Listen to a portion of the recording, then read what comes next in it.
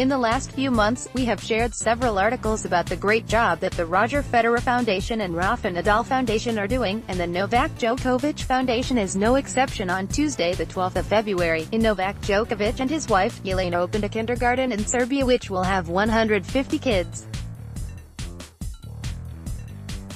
This has been one of the most important projects for the world number one lately, who has invested $314,000 in it. Being a child is the most beautiful thing, said Djokovic.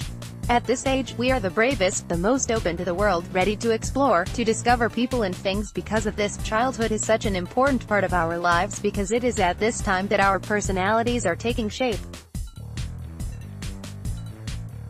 Providing equal opportunities for children from all over our country represents our absolute imperative and something we strive for and never forked. The fact that Jelena and I are parents now as well has additionally turned us towards the care of the youngest, and that is why we are immensely pleased that the kids from Pranje now have the opportunity to make new friendships and acquaintances, to play, learn, and develop their imagination by reading.